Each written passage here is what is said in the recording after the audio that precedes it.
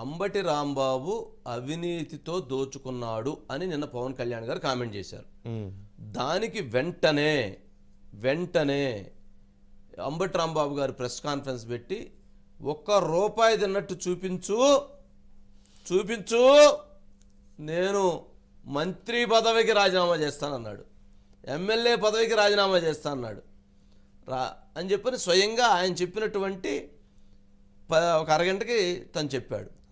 చెప్పినటువంటి ఇరవై నాలుగు గంటల లోపు అంటే ఈరోజు సాయంత్రం నుంచి ఒక వీడియో ట్రోల్ అవుతూ ఉంది. అదేంటంటే ఒక కుటుంబానికి ఐదు లక్షలు వస్తే అందుట్లో రెండున్నర లక్ష రూపాయలు అంటే ఒక అబ్బాయి చనిపోయాడు.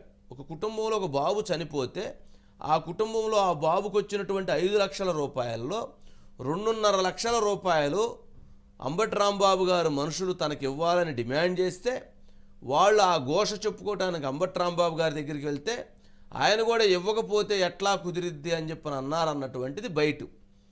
మరి ఇంత పెద్ద రాజకీయపరమైనటువంటి సవాలు అటుపక్క పవన్ కళ్యాణ్ గారు ఇటుపక్క అంబట్రాంబాబు గారు మధ్యలో ఇప్పుడు ఆ ఫ్యామిలీ. అసలు ఇప్పుడు రాజీనామా చేస్తారా చెయ్యరా ఏం జరగబోతుంది అన్నది ఇప్పుడు రాష్ట్ర రాజకీయాల్లో ఒక మంచి ఆసక్తికరమైన వాతావరణం ఒకసారి ఆ బైట్స్ ప్లే చేయండి. నేను లంచం తీసుకున్నానా?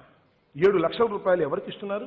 ఎవరైతే రైతు ఆత్మహత్య చేసుకుంటాడో ఆ రైతుకు ప్రభుత్వం నేను ఈ సందర్భంలో మరొకటి చెప్పాలి. ఈ ప్రభుత్వం ఏడు లక్షల రూపాయలు ఆత్మహత్య చేసుకున్న వారికి ఇస్తుంది చెక్ ఇస్తుంది.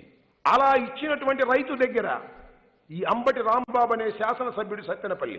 అంబటి రాంబాబు అనే ఇరిగేషన్ మంత్రి ఒక్క పైసాకి కక్కుర్తి పడ్డట్టుగా నువ్వు ఏ ఒక్క లబ్ధిదారుడితో చెప్పించిన మొత్తం నా మంత్రి పదవికి శాసనసభ్యత్వానికి రాజీనామా చేసి వెళ్ళిపోతా గుర్తుపెట్టుకోమని మనం చేస్తున్నాం. దమ్ముంటే నిరూపించ